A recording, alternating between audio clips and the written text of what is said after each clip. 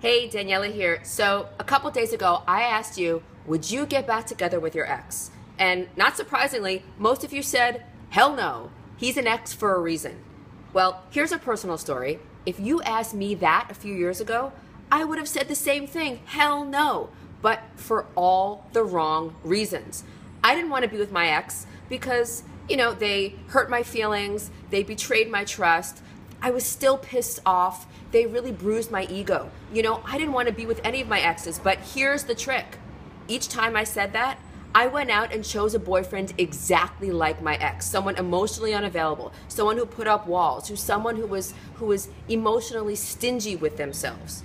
You know, so I said I didn't want to be with my ex, but then I chose someone exactly the same. I repeated the same pattern.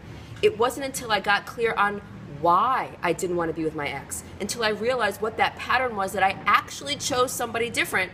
And now I'm in the relationship that I am today that's unlike any of my exes. So when you say you don't want to be with your ex, I believe you. I mean, I'm sure maybe it was a really messy breakup. Maybe that person just makes you feel like upset and angry or pissed off.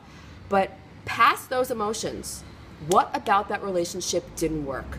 When you get clear on why you don't want to be with your ex and figure out what you want going forward, that's when you get something different. So break the patterns.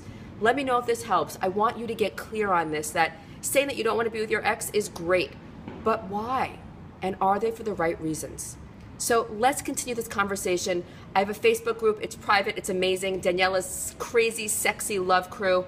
Join it today. We can continue this conversation. And until I see you soon, take good care of your sweetheart. bye bye.